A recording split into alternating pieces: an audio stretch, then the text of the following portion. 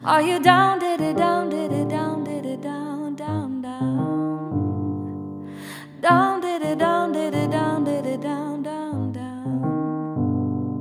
Are you down, down, down, down? Are you היי עופר. יאללה, מה העניינים? בטייק השלישי. כן, כאילו אנחנו לא פה כבר אה, שעתיים. מה קורה? מצוין. אה, שלום גם אה, למי שמאזין לנו, לקומיוניקאסט. אה, היום נמצא איתי עופר פלין. עופר הוא סמנכ"ל באסקו, הוא מומחה לחשיבה עסקית חברתית, ושותף לתהליכי פיתוח עסקיים חברתיים יחד עם יזמים, עמותות, רשויות, כל זה תוך כדי דגש על שלבי התכנות, הקמה והשיווק. ובחמש השנים האחרונות הוא הדריך והנחה מאות משתתפים במסגרות ההצעה, תוכניות פיתוח וסדנאות. הצגתי אותך טוב? יואו, איזה טייטל, מאיפה זה? מעולה. תראה, יש לי את המקורות שלי. אחלה כרטיס ביקור. אולי אני כזה אעשה הקדמה ואומר שאנחנו הולכים לדבר פה על אה, קהילות ואג'נדה חברתית, אם זה לא היה ברור עד כה. נכון, כן. אולי אה, תתחיל קצת מלספר לי איך הגעת למה שאתה עושה, לטייטל הזה ולכל העשייה החברתית הזו.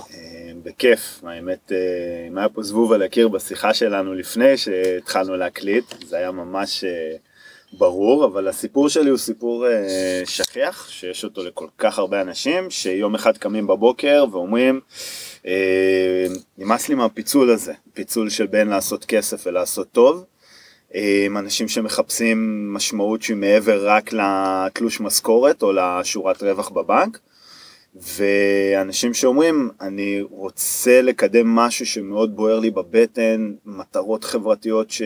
או סביבתיות שמאוד חשובות לי, ואני לא רוצה לעשות את זה רק בהתנדבות, אני רוצה לעשות את זה כל הזמן, ובשביל שזה יקרה כל הזמן, אז uh, אני צריך לייצר הכנסה מזה, וזה בעצם הבסיס לחשיבה עסקית חברתית, של איך אפשר uh, גם לייצר הכנסה משמעותית וגם לקדם אג'נדות חברתיות uh, באותו זמן, וזה רלוונטי בין אם אתה יזם פרטי, או בין אם זה עמותה שרוצה לייצר הכנסה עצמית ולא להסתמך רק על תרומות, או תאגיד עסקי שמבין שמעבר לאחריות תאגידית או הקשרי קהילה שלו, יש לו הזדמנות גם לייצר מוצרים או שירותים שמשנים את המציאות וגם מייצרים הכנסה.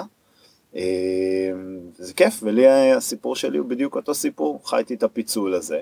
מה עשית בגלגול הקודם?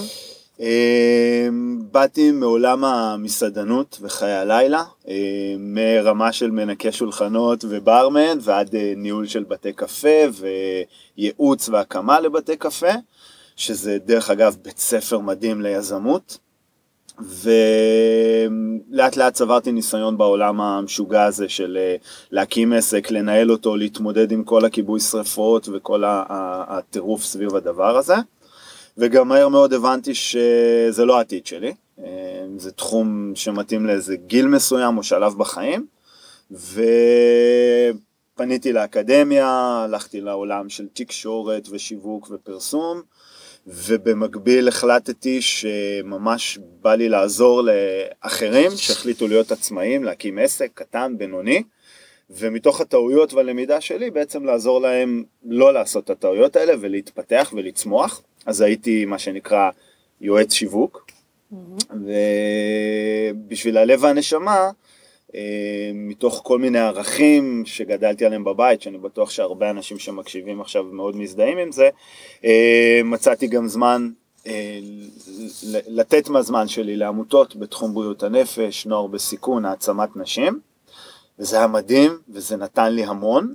אבל אז זה פגש את המציאות שאתה צריך לשלם שכירות וארנונה וחשמל ולמלא את המקרר, ואז אתה צריך לעבוד יותר שעות, ולפעמים אתה צריך לעבוד גם עם כאלה שאתה לא ממש נהנה לעבוד איתם, או לא ממש מאמין במה שהם עושים, או אפילו מקרים שבהם אתה חלק ממוצר או שירות שהוא ממש הונאה או, או משקר ללקוחות. וככל שאתה מעמיק בזה ומתבגר, הפיצול הזה יותר ויותר מקשה. עד שאתה קם בבוקר ואתה אומר enough, כאילו לא יכול להיות שזו המציאות, שבשביל להביא כסף אתה עובד במשהו שאתה לא נהנה ממנו ולא מאמין בו, ובשביל להרגיש טוב ולעשות טוב אתה צריך למצוא איזה שעה בשבוע, חיים מקסימום, כפולים. ממש חיים כפולים, ו... ואז החלטתי שאני מחפש משהו אחר. ולשמחתי אה, ככה הכרתי את העולם של עסקים חברתיים בזכות איש יקר שהוא שותף לעשייה שלי והוא היה אה, המנכ"ל שלי הרבה שנים, ניר גורדון, שהכיר לי את כל התחום המדהים הזה, ופשוט אתה קם בבוקר למציאות אחרת, שאתה מבין? שלא צריך לפצל, שכל מה שלימדו אותך בתואר הוא, הוא לא נכון, יש מציאות אחרת לגמרי של doing good and doing money, והיום אני ממשיך הלאה, מפיץ את הבשורה. מדהים. אה, מאחלת לכולם. עכשיו, באמת הנושא של הפודקאסט זה כל הנושא של קהילות וניהול קהילות, אז רציתי שנדבר קצת איך אפשר באמת לחזק אה, קהילה וגם לייצר הכנסה. שזה אני חושבת משהו שהמון אנשים גם אה, מדברים עליו, אפשר לראות את זה גם בפורומים ובכל מיני דיונים כאלה שקורים על קהילות, על אתה יודע, קהילה זה מושג שהוא לפעמים מתפרש קצת כ... לא יודעת, אלטרואיזם אה, טהור, ו... אבל לא, יש גם קהילות שהן אה, עסקיות ושכן אה, מייצרות הכנסות. אז זה נראה לי בדיוק התחום לשאול אותך, בשביל זה אתה כאן. אז נכון, אז גילוי נאות שפגשתי את הפודקאסט שלך ובאמת ככה הקשבתי ולמדתי על קהילות ובכלל זה היום תחום שמאוד מאוד מתפתח. אז זה מאוד התחבר כי אני הכרתי את זה מהעולם שלי, של האימפקט, של העסקים החברתיים. ובאמת המודלים שאני מכיר מהעולם הם מודלים של קהילה שהתגבשה סביב נושא מסוים ולקחה את ה... נקרא לזה את, ה, את הארגון, את הקהילה עצמה למקום של איך גם מייצרים אה, אימפקט על, ה, על המציאות, איך מייצרים שינוי חברתי. אה, המודל הזה בחו"ל נקרא אימפקט קומיוניטי, קהילה מגויסת, אבל ה-DNA שלהם, הרעיון הוא, הוא מקסים, שבעצם איך אנחנו מייצרים ערך עבור, עבור חברי הקהילה, איך אנחנו מגשימים את הקונספט שבגללו בכלל התגבשנו כקהילה, ואיך כקהילה אנחנו מייצרים כוח שמוציא את זה החוצה, שמייצר שינוי מחוץ לקהילה. אה, וזה מה שמשך אותי בכל הסיפור הזה, להכיר את זה, לחקור את זה. אה, זה תחום שהיום גם מתחיל אה, לתת את הניצנים שלו בארץ. ואיך אתה רואה את זה באמת מתקדם או, או מתפתח בארץ? בארץ אני חושב שזה ממש הצעדים הראשונים, זאת אומרת, גם הנושא הזה של קהילות, אה, הוא התחיל כזה אנדרגאונד בארץ לפני כמה שנים, ופתאום היום זה עבר למקום של כן, אנחנו קהילה, ועכשיו אנחנו כבר במקום שיש ארגוני תשתית וקורסים ואנשים שמייעצים לקהילות. ואת רואה קהילות שהן סביב uh, קהילות נשים וקהילות של uh, הייטקיסטים וקהילות של אנשים ח... uh, עם אג'נדה חברתית ו... ו... ופתאום כאילו יש צמא לצעד הבא, אוקיי, מה, what's next, כאילו התגבשנו ואנחנו פעילים, אני מקבל טלפונים מנשים שמנהלות קבוצות פייסבוק עם 30, 40 אלף אה, משתתפות, ופתאום השאלה, אוקיי, מה, מה אנחנו יכולות לעשות עוד? כאילו, שזה לא רק יסתכם במרחב הווירטואלי ופעילות שהיא fun וכיף מחוץ, אלא איך אפשר להפוך את הדבר הזה לממש ארגון שהוא, שהוא יוצר, שהוא, שהוא הוא, הוא משאיר חותם. אתה חושב שאולי זה לא באיזשהו מקום קצת מלכלך במרכאות את העשייה? כי אתה יודע, אתה מקים...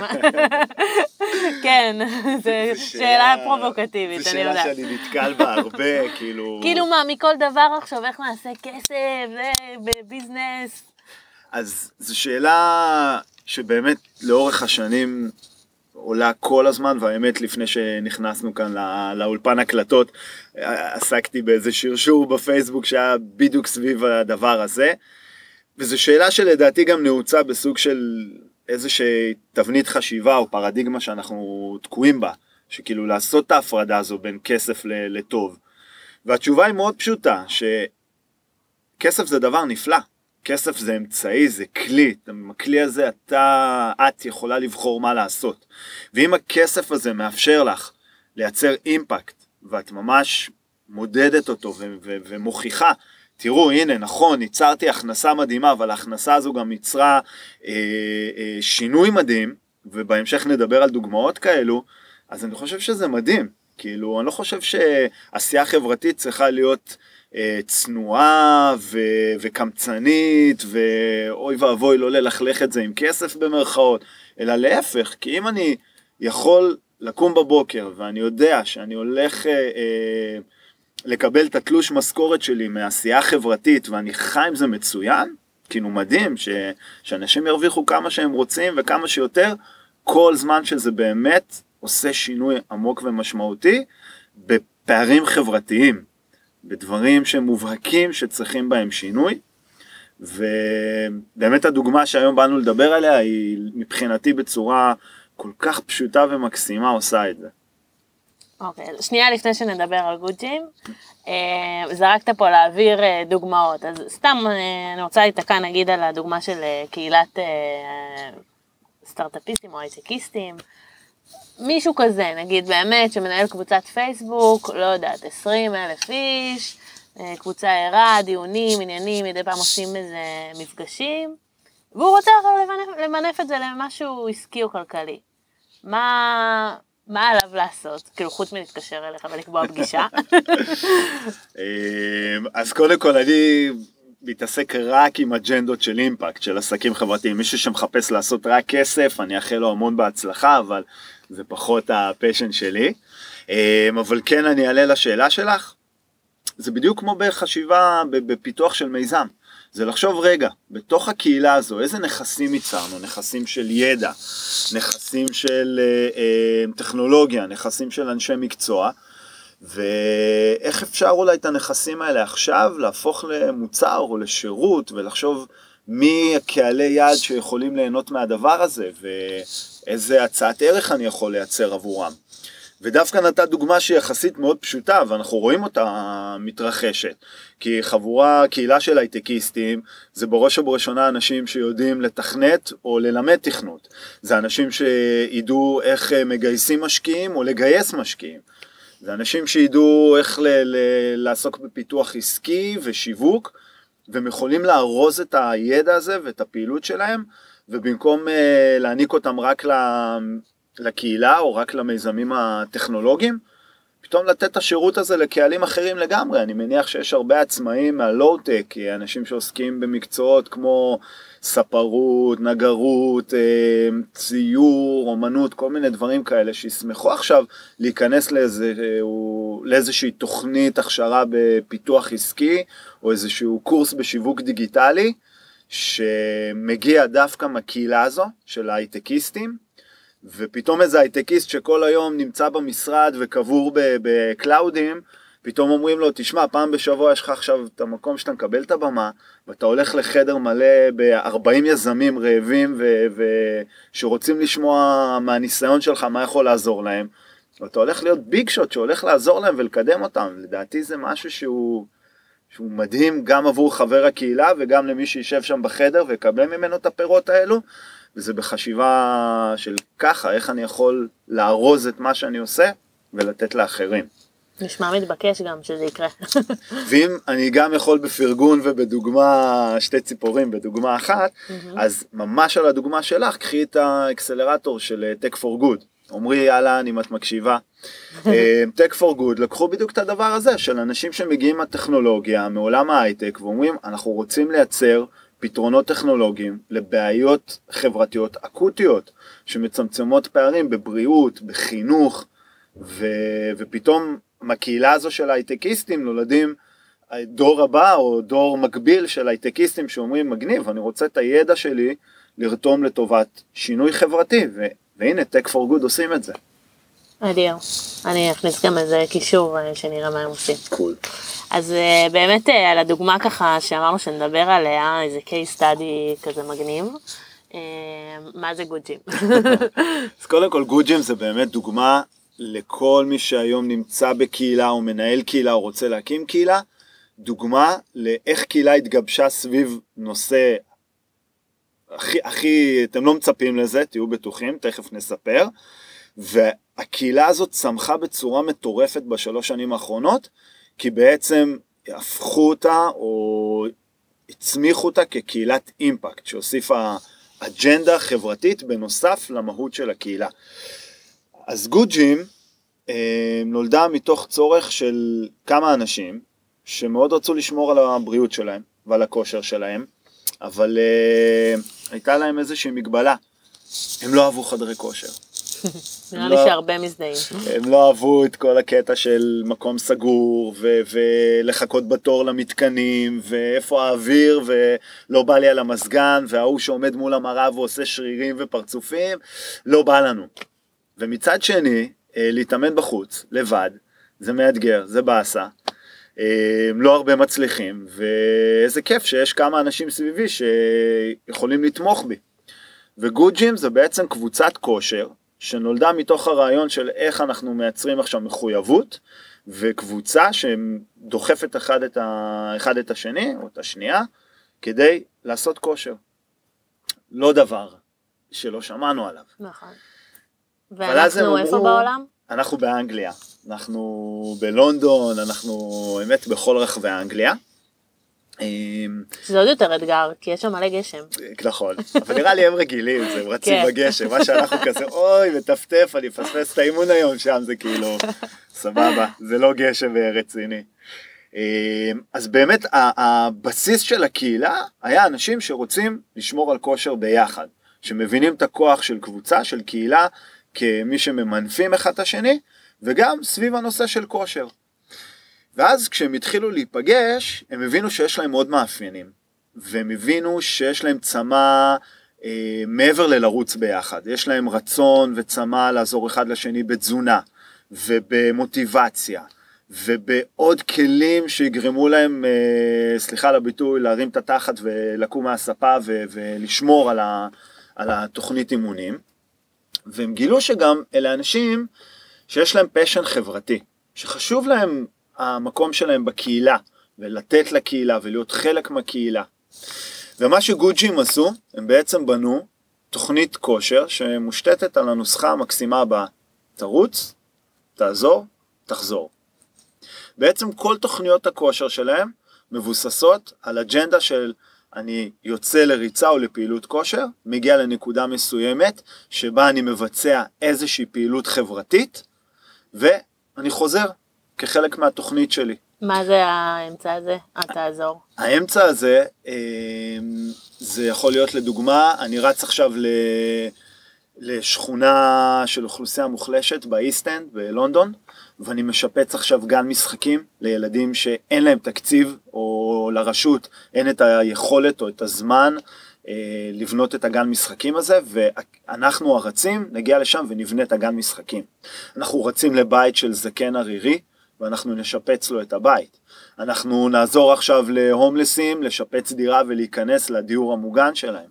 אנחנו נגיע ונשתה כוס תה פעמיים שלוש בשבוע עם זקנה שהילדים שלה כבר אה, אה, לא מגיעים אליה כמעט והיא צריכה מישהו לדבר איתו ומישהו שיקח את המדדים הרפואיים שלה וידווח לחברת ביטוח או לקופת חולים או אפילו יפיג את הזמן שלה ואנחנו נשב ונשתה איתה את הכוס תה הזה ו... ונעשה את זה כמה פעמים בשבוע. זה אנחנו נעשה עכשיו ריצות שכל הסכומים מתוך הפרסום והמכירות שיהיו לצידי הריצה וכל מי שישלם כדי להשתתף בתוכנית יהיו קודש כדי לקדם אה, נושאים חינוכיים ובריאותיים בתוך הקהילה. ובעצם זה ממש קונספט של אני מקבל את התוכנית אה, אה, את התוכנית המקצועית, תוכנית כושר המקצועית הכי טובה שאפשר, עם מדריכי קוצר, כושר, עם תזונאים, עם uh, תפריט, עם uh, מוטיבטור, וכל הדבר הזה בעצם מאפשר לי גם להגשים את הפשן החברתי שלי, וגם לשמור על הכושר ו- ולהמשיך ברוטינה המדהימה הזו. ואיך באמת, נגיד, אה, אם מסתכלים על המודל הכלכלי, זה כמו לשלם לחדר כושר? איך זה עובד?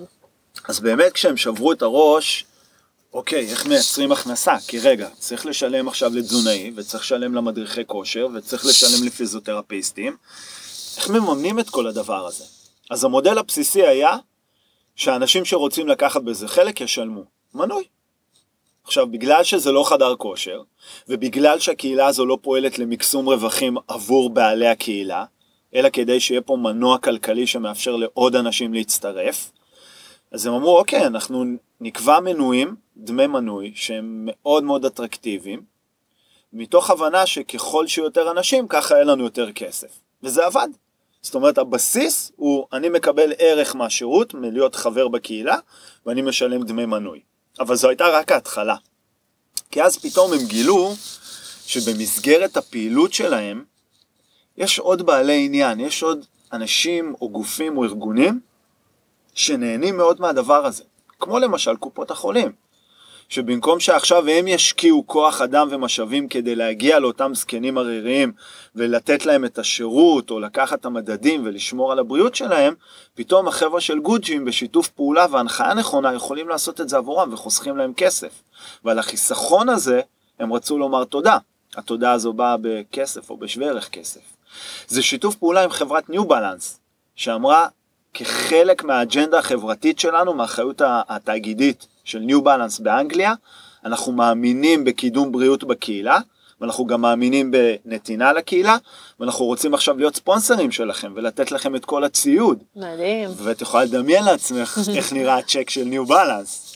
כן, לגמרי. וזה נראה גם בצורה של גיוס אה, קרנות עסקיות חברתיות שמחפשות את הגופים שעושים את האימפקט הזה, כמו הלוטרי בנק באנגליה שהשקיעו אה, סכום אדיר של, אה, אה, אם אני לא טועה, למעלה משני מיליון לירות סטרלינג בפיתוח של אה, קהילת אה, GoodGym.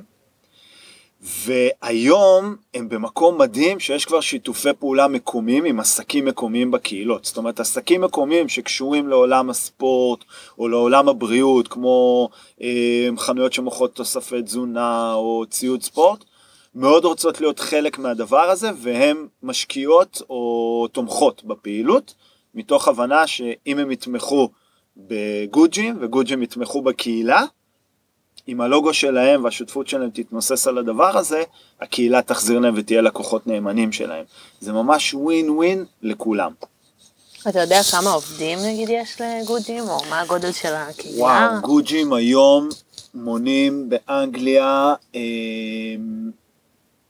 42 מוקדים, שבכל מוקד יש אלפי רצים. ואני יודע שיש להם כרגע 79 בקשות להצטרפות, זאת אומרת הם אמורים לצמוח ב-2018 לאזור ה-130-140 מוקדים. רק באנגליה? רק באנגליה, שכבר וואו. התחילו להיכנס אה, בקשות לפתיחת מוקדים בצרפת, בספרד, בגרמניה. אה, אני לא יודע לומר לך את המספר המדויק, האמת אפשר להיכנס רגע לסמארטפון ולבדוק.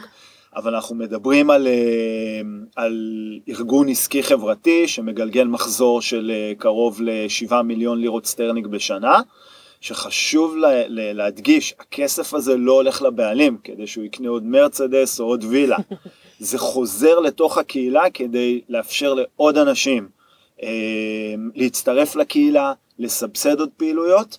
היום הממוצע שלהם עומד על אזור ה-65 אלף פעילויות חברתיות בשנה, והם רוצים להכפיל כל שנה את, ה, את המספר הזה.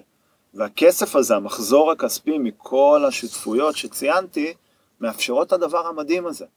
וזה מאוד מתחבר לשאלה שאמרת, רגע, כסף לא מלכלך פה את העניין, יש להם מודל מדהים ואפשר להיכנס לאתר שלהם ולראות איך הכסף בעצם מושקע בחזרה כדי להגדיל את האימפקט החברתי. ואיך הוא ממנף את ההזדמנויות עבור חברי הקהילה. מדהים, זה באמת דוגמה מדהימה, ואני חושבת שלנו בארץ יש הרבה מה ללמוד, כי כמו ש... וזה טיפה, אנחנו חוזרים אחורה, אבל אמרת קודם, יש פה נורא הפרדה. וגם אני חושבת שאנשים, הם לא כל כך מצליחים לעכל את השילוב. אז נגיד שאתה מדבר על גוטים, נורא קל להגיד, זה עסק, אבל הוא גם חברתי. נכון. אז, אז אני חושבת שבארץ יש איזושהי בעיה ש... נגיד להסתכל בסדר על עסק שאולי הוא הופך לחברתי זה טוב, אבל מה עם משהו חברתי שהופך לעסק? אני חושבת שפה יש איזה, לאנשים זה גורם איזה אי נוחות. ונגיד משהו כמו גוג'ים, קודם כל אולי אני אשאל אותך, למה לא רואים דברים כאלה בארץ? וואו, זו שאלה טובה, יאללה, קדימה, תכתבו לנו מי הראשון שמרים איתי את זה בארץ. אני גם רץ, אני אבוא לרוץ. לגמרי, יאללה, אני. אמ, אבל איך באמת אתה קצת משליך יותר את המודל הזה או דברים דומים על, על מה שקורה כאן? אז קודם כל, אני, אני יודע כבר, לא חושב, אני יודע נכון, יש רתיעה מלבוא ולומר אני עושה משהו חברתי ואני רוצה גם לייצר הכנסה מזה. כי זה שוב קשור לדברים שחונכנו עליהם וגדלנו עליהם, אבל אם מסתכלים מעבר לים, אמ, על המדינות שמובילות את המרחב של עסקים חברתיים, אה, social enterprises, social businesses, אה, impact businesses, לא משנה איך קוראים לזה, החשיבה היא אותה חשיבה. כדי שכל יום אני אוכל לקום בבוקר ולהתעסק בלשנות את המציאות ולטפל בבעיות חברתיות אקוטיות ולצמצם פערים ולעזור לאוכלוסיות מוחלשות ו- ולטפל במפגעים סביבתיים, אני צריך אנרגיה. האנרגיה הזו היא כסף, זה מה שמאפשר לי את הדבר הזה. ובעולם וגם בארץ ההבנה היא ש... שכדי להבטיח שגם בעוד 10, 15, 20 שנה אני אוכל לקום ולעשות את הדבר הזה, וכשאני אומר אני, אני אומר יזם פרטי, עמותה, גוף ממשלתי, זה לא משנה. כדי שאני אוכל לעשות את זה גם עוד עשרות שנים קדימה, אני צריך להבין שאני חייב לייצר גם את ההכנסה שתאפשר לי את זה. ולכן אני לא רואה את, ה... את ההפרדה בין החברתי ל... ליצירת הכנסה כמשהו שלילי, להפך. היום יותר ויותר עמותות שהן הקיצון במקום של לדבר עסקית או לייצר הכנסה ובעיקר נהנות מתרומות ומתנדבים, היום יותר ויותר עמותות מבינות שכדי להמשיך ולעשות את הפעילות החברתית שלהם, הן חייבות לייצר הכנסה עצמית. וההכנסה העצמית הזו היא לא באה על חשבון השינוי החברתי, האימפקט. להפך, זה ממנף, זה מייצר עוד הזדמנויות, זה מאפשר עוד משאבים, זה מייצר עוד כסף שאפשר לשלם לעוד עובדים ולהביא אנשים מוכשרים ואנשים שבאמת מגיעים עם, ה, עם הניסיון והיכולת ומגיע להם לקבל את השכר שאם בעולם העסקי הם היו הולכים למשרד דומה הם היו מקבלים בלי להניד עפעף. אמ, אז יש לנו אחריות גם לחנך במרכאות ולומר הכל בסדר, אפשר לעשות עסקי וחברתי ביחד, ויש לנו אחריות עוד יותר עמוקה בלעזור ולהראות איך אפשר לעשות את זה וממש לעזור באיך, כי זה החלק הכי מאתגר. אה, עכשיו יש לי שאלה שאולי הייתי צריכה לשאול אותה בהתחלה, אבל זה סוג של משהו בסיסי של מי מגדיר מה זה עסק חברתי, או איך מגדירים את זה. כי אם אני עכשיו אה, פתחתי עסק ואני עושה כסף, אבל אה, לא יודעת, ניקח דוגמה כזאת שמכירים, אולי תומס של הנעליים, אני קניתי נעל ומישהי באפריקה גם קיבלה נעל. אז סבבה, זה כזה obvious, אבל אם אני עכשיו עושה משהו, או נגיד אה, ארגונים הרבה פעמים מגדירים אה, אחריות תאגידית, שמים את זה כזה באיזה משרד בצד, ויש את התקציב המסוים הזה שנותנים למשהו אה, חברתי, או בעל השפעה חיובית, אז איך באמת מגדירים עסק שהוא באמת עסק חברתי? אז היום החיים שלי הרבה יותר קלים בלענות לך על זה. אמ, קודם כל בחו"ל מדובר במגזר הרביעי שהוא כבר תחת רגולציה וחקיקה, רק באנגליה יש שמונה הגדרות בחוק למה זה עסק חברתי. יש לנו תווי תקן כמו Benefit Corporation באנגליה, אה, Social אה, Conscious Capitalism. בארץ, עד אה, לפני כמה חודשים, היה לנו אתגר באמת בלומר מה זה עסק חברתי. אבל הודות לעבודה מדהימה של ארגון IVN אה, וחבר הכנסת אה, רועי פולקמן, היום כבר יש חקיקה ראשונה בהגדרה מה זה עסקים חברתיים, רק IVN זה קרן אה, השקעות בעסקים חברתיים. אבל אם רגע נרד לבייסיק, לתפיסה, ושאלת שאלה מאוד חשובה, ואני מאמין שהתשובה היא אצלנו, הצרכנים, אצל השוק. כי השאלה הזו כל הזמן צריכה לעלות, של רגע, מה, למה אתה עסק חברתי? מה עושה אותך עסק חברתי? והביקורת הזו צריכה לגרום ליזמים או לעמותות או לארגונים העסקיים חברתיים לשמור על המצפן שאומר, הנה ההוכחה למה אני עסק חברתי. אז קודם כל, בעיניי עסק חברתי זה פעילות שהמטרה שלה באמת לקדם מטרות חברתיות או סביבתיות, והיא עושה את זה בכלים עסקיים, שהמטרה היא לא איך אני עכשיו מייצר אה, וממקסם רווח עבור הבעלים על חשבון המטרה החברתית, אלא איך אני מצליח למקסם את שתיהן, איך אני מצליח גם לעשות כסף וגם להוכיח ממש במדידה, ויש לזה מודלים, איך אני, איזה שינוי ייצרתי בזכות הפעילות שלי. למשל גוג'ים, אם אנחנו חוזרים לדוגמה, כשיבואו וישאלו, רגע, הדמי מנוי שלי, הכסף ששמתי, מה, מה הוא עשה? איך אני יודע שלא השתמשתם בו רק למשכורות שלכם? וגוג'ים יוכלו להראות דוחות ומדידה שמראות כמה פעילות הם עשו, עם כמה אנשים, איך זה שינה את החיים של האנשים, כמה אה, גינות קהילתיות קמו, כמה גני משחקים, כמה בתים שופצו. מי שירצה להיות אה, אה, קשוח איתם ו- ולבוא ולומר, רגע, תוכיחו לי, הוא ממש יוכל לקבל דוחות מפורטים.